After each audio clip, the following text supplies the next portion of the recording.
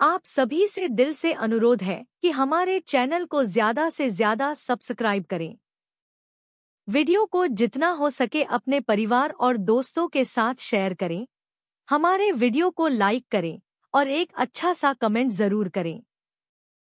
हम आपके लिए रोज इतनी मेहनत करते हैं तो आपको हमें सपोर्ट करना चाहिए। अगर आप अपने दादा दादी और मम्मी पापा से प्यार करते हैं तो चैनल को सब्सक्राइब करें। और हमें अपना प्यार और सपोर्ट दिखाएँ। ईपीएस पचानवे न्यूनतम पेंशन को लेकर विरोध प्रदर्शन तेज। महाराष्ट्र, हरियाणा और झारखंड में पेंशनर्स सरकार को पेश करेंगे बड़ी चुनौती।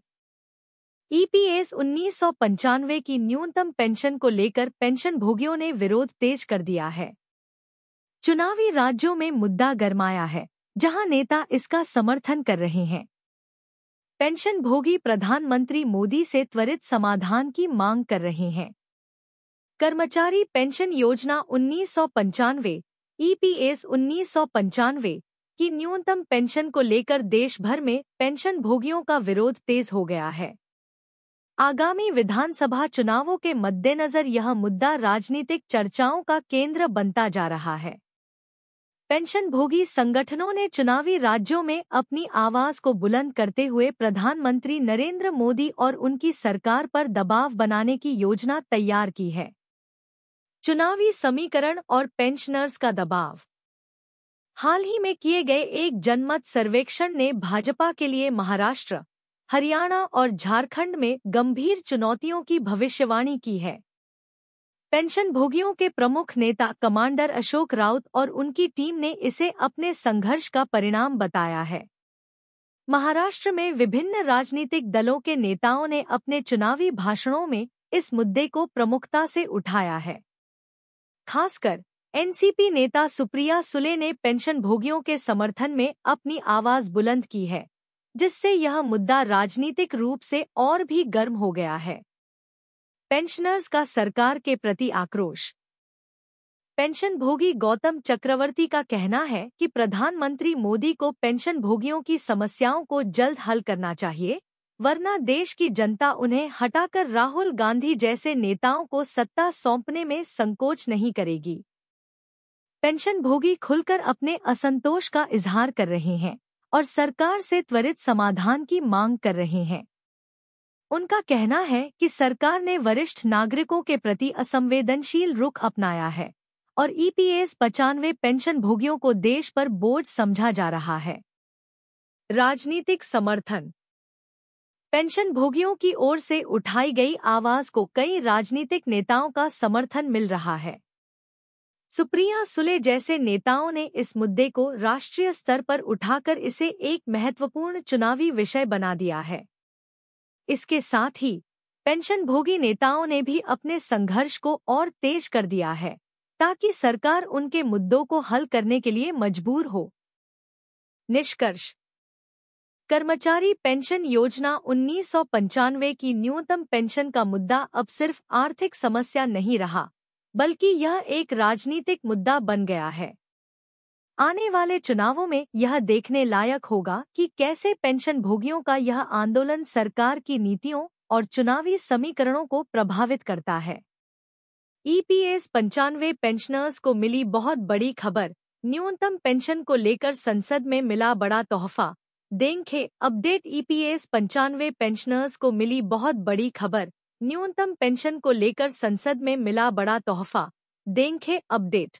कर्मचारी पेंशन योजना उन्नीस सौ पंचानवे के अंतर्गत आने वाले पेंशन भोगियों ने अपनी मिनिमम पेंशन एक हज़ार रूपए से बढ़ाकर सात हज़ार पाँच सौ रूपए प्रति माह करने की मांग को लेकर एक जोरदार आंदोलन शुरू किया है। इस आंदोलन का नेतृत्व नेशनल एजुटेशन कमेटी द्वारा किया जा रहा है। ईपीएस पंचानवे पेंशनर्स को मिली बहुत बड़ी खबर, न्यूनतम पेंशन को लेकर संसद में मिला बड़ा तोहफा। देंखे अपडेट। जिसने दिल्ली में अपना डेरा डाल दिया है। तो चलिए आप सभी को बताते हैं कि न्यूनतम पेंशन को लेकर संसद में क्या बड़ा तोहफा मिला है। आइए जानते हैं इस बारे में विस्तार से जानकारी। कर्मचारी भविष्य निधि संगठन के अधिकारियों और एनएसी प्रतिनिधियों के बीच हाल ही में दिल्ली में व्यापक चर्चाएँ हुई, जिसमें मिनिमम पेंशन बढ़ाने उच्च पेंशन लाभों और मेडिकल सुविधाओं पर ज़ोर दिया गया है। एनएसी के राष्ट्रीय अध्यक्ष, कमांडर अशोक राउत और राष्ट्रीय महासचिव ने कर्मचारी भविष्य निधि संगठन के सीनियर अधिकारियों के साथ महत्वपूर्ण मुद्दों पर बातचीत की है। पेंशन फंड प्रमुख मांगे और प्रतिक्रिया। पेंशन भोगियों की प्रमुख मांगे, मिनिमम पेंशन में वृद्धि, महँगाई भत्ता और व्यापक मेडिकल सुविधाएँ शामिल हैं।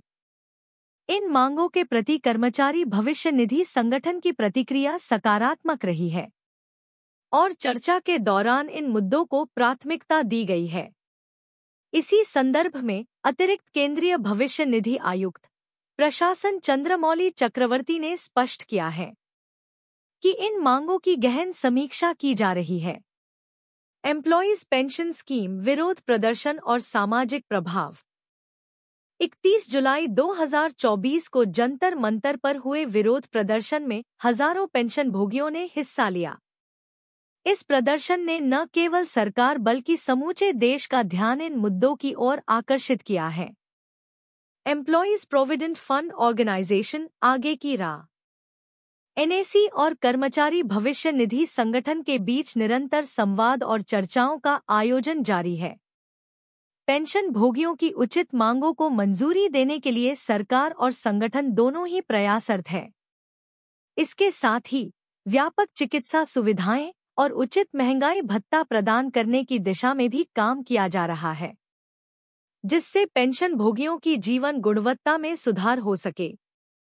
फिर भड़के ईपीएस पंचानवे पेंशन भोगी सिर्फ़ आश्वासन नहीं, अब चाहिए पूरी पेंशन जनवरी में किया था विरोध, फिर भड़के ईपीएस पंचानवे पेंशन भोगी।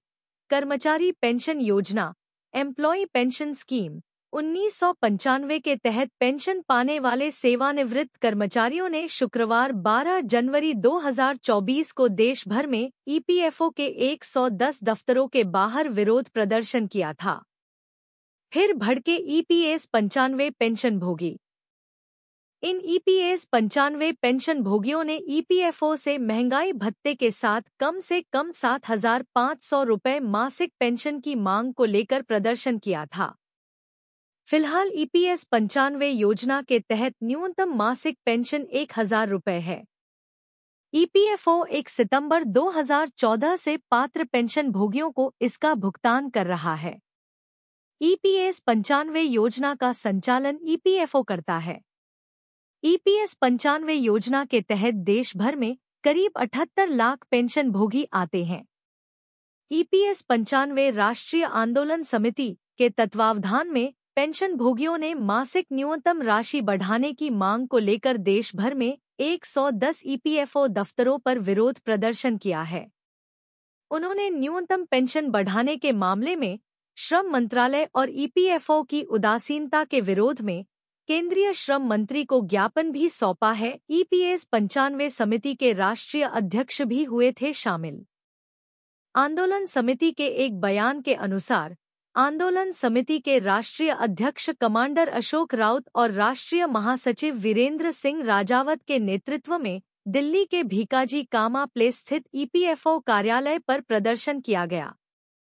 अशोक राउत ने कहा कि पिछले छह वर्षों से ईपीएस पंचानवे पेंशन भोगी न्यूनतम पेंशन को बढ़ाकर सात हज़ार पाँच सौ रुपये प्रति माह करने और महँगाई भत्ता, पेंशन भोगी और उसके जीवन साथी के लिए मुफ़्त चिकित्सा सुविधा की मांग को लेकर आंदोलन कर रहे हैं।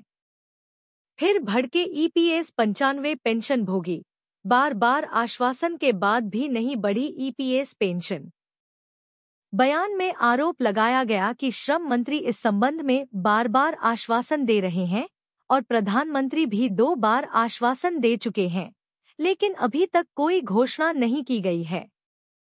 श्रम मंत्री के बार बार आश्वासन के बावजूद ईपीएफओ इस बारे में गंभीर नहीं है।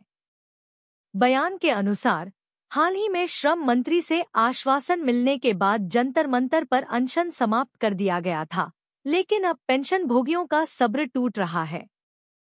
साथ बयान में कहा गया है कि पीएम मोदी अपनी गारंटी पूरी करें और मानवता के आधार पर पुराने ईपीएस पंचानवे पेंशनर्स की मांगों को तुरंत लागू करें और ऐसा न करने पर 30 जनवरी से फिर से क्रमिक अनशन शुरू किया जाएगा, जो मांगे पूरी होने तक जारी रहेगा। एम्प्लॉय पेंशन स्कीम में ऐसे जमा होता फंड कर्मचारी पेंशन योजना के तहत आने वाले कर्मचारियों के मूल वेतन का 12 परसेंट हिस्सा भविष्य निधि में जाता है। जबकि नियोक्ता के 12 परसेंट हिस्से में से आठ दशमलव तीन तीन परसेंट हिस्सा कर्मचारी पेंशन योजना एम्प्लॉय पेंशन स्कीम में जमा होता है। इसके अलावा सरकार भी ईपीएस पेंशन फंड में एक दशमलव एक छह परसेंट का योगदान देती है।